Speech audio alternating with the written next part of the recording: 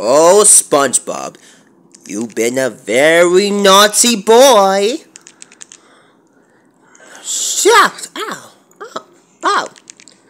Ow!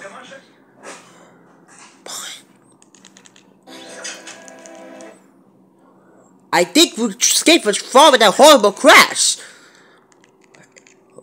Oh, see, there's the problem. Eh. Oh boy. Flat tire. Oh boy, this is gonna get good more than chilling. That ain't good. Ugh. This cold weather is getting regularly over here by the second. Hey guys! Why don't we skip give me a good high chocolate while Potty and me builds me a fighter?